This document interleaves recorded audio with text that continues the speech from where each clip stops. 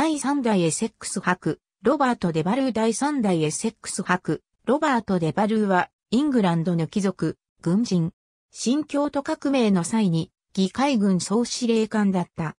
1591年1月22日、第2代エセックス伯、ロバート・デバルーとその妻フランセスの長男として、ロンドンに生まれる。第2代ウォリック伯で、議会派の海軍軍人、ロバート・リッチはいとこにあたる。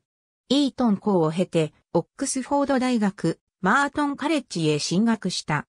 イートン校在学中の1604年4月18日に、議会の議決により、大逆罪で処刑、爵位剥奪されていた父の爵位を回復し、第3代エセックス伯爵、第4代ヘレフォード子爵、第12代チャートリーのフェラーズ男爵、第10代バウチャー男爵を継承した。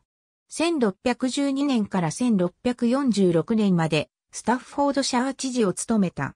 1620年代には30年戦争に従軍して各地を転戦し、1625年のカディス遠征にも従軍した。1641年2月に数密顧問官に列する。1639年の司教戦争では、チャールズ一世の命を受けて、スコットランド征伐軍の指揮官を務めたが、1642年に第一次イングランド内戦が発生すると、王党派から議会派に転じ、議会軍総司令官に就任している。この時、オリバー・クロムウェルが、麾下の騎兵隊を率いて、エセックス伯の議会軍に参戦している。またエドマンド・ラドロー、チャールズ・フリートウッド、トマス・ハリソンなども同じく議会軍に参戦している。しかし、初戦のエッジヒルの戦いは引き分け、ジョン・ハムデンやクロムウェルから攻撃を促されても動かず、優柔不断な態度をとっていた。このため後期を逃したり撤退して逆に、応答派後期を与える場合もあり、戦争長期化の一員となった。のみならず、1643年のチャルグローブ、フィールドの戦いで主力を動かさなかったことが敗因につながり、ハムデンも戦死する羽目になった。さらに、イングランド南西部を守備する新しい軍の隊長、ウィリアム・ウォラーとソリが合わず、7月13日のラウンドウェイダウンの戦いで敗れたウォラーに、オックスフォードからの応答派援軍の通過を見過ごしたことを非難され、両者の対立は議会の派閥構想を促していった。この清掃は、スコットランド国民名役との同盟を進めていた議会派の実力者、ジョン・ピムの政治工作で、かろうじて沙汰闇になり、エセックス伯は引き続き総司令官を務め、国王軍に包囲されていたグロスターを救援、ロンドンへ帰還する途中に9月20日の第一次、ニューベリーの戦いで追跡してきた国王軍と戦い、はっきりと勝敗はつかなかったが国王軍が先に撤退した後にロンドンへ帰還した。一方、派閥構想を悪化させたヘンリー・マーティンは、ロンドン島へ投獄されている。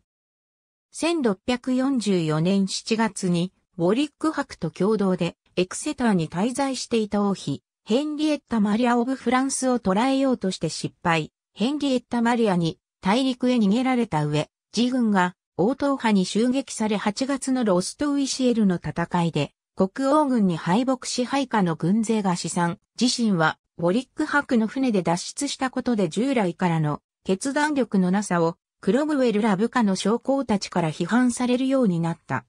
これが1645年2月に議会軍が州や貴族による連合型の軍隊から単一のニューモデル軍へと転換する契機となった。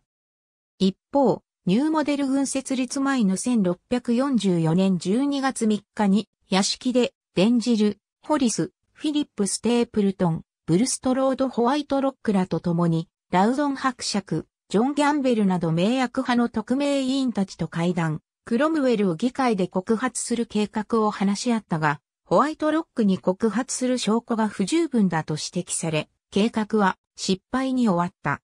さらに、同年4月3日の長期議会において、無能指揮官の追放を目的とする事態条例が可決されたことで、エセックス伯は議会軍総司令官職を辞することになった。同じく優柔不断な態度をクロムウェルに非難された東部連合軍司令官マンチェスター伯、エドワード・モンタギューも、罷免、軍首のオーブも刷新され新たな議会軍総司令官に、トーマス・フェアファクスが就任した。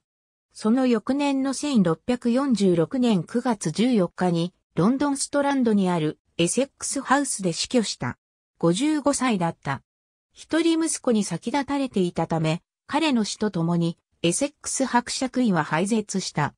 ヘレフォード子爵位は当園で、初代ヘレフォード子爵、ウォルター・デバルーの末息子の家系であるウォルター・デバルーによって継承された。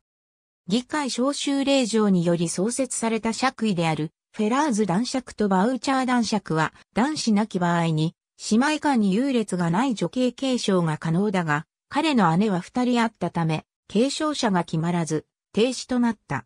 しかしフェラーズ男爵位は1677年になって、ロバート・シャーリーが継承者に確定した。1604年4月18日の議会の決議により、以下の剥奪されていた父の爵位が回復され、継承を認められた。1606年に初代サフォーク伯、トマス・ハワードの娘フランセスと最初の結婚をしたが、1613年に性的無能力者だと言いがかりをつけられて離婚している。ついで1631年にサー・ウィリアム・ポーレットの娘エリザベスと再婚。彼女との間に一人息子のヘレフォード子爵、ロバート・デバルーを設けたが、この息子は溶接した。ありがとうございます。